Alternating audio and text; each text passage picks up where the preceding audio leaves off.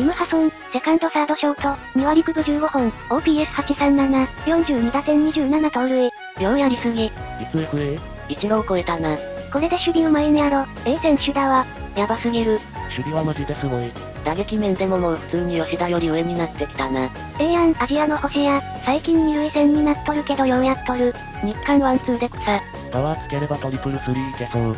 アジア人は骨格的にハンであるからショートセカンドは無理っていう言い訳できんくなるやん。大谷とキム・ハソンって交流あるんかな？ダル経由とかで。なんでこんなに打てるようになったんや？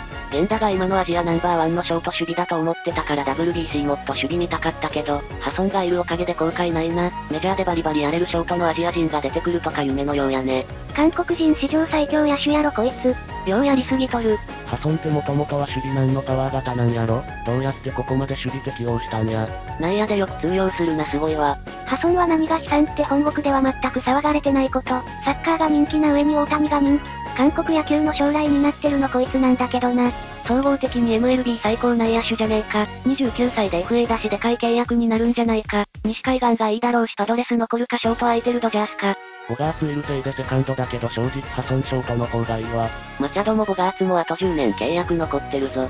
ここ10年若い韓国人野手が何人も挑戦して失敗してを繰り返して、失敗例が大量に積み上がる中、やっと出てきた成功例がキム・ハソンなんやし、キム・ハソンが成功したのはシンプルにキム・ハソンの潜在能力が濃かっただけや。そんなに守備への？結局ショート？セカンド？ちょっと前まで打率2割半ばくらいだと思ってたら随分上げてきたな。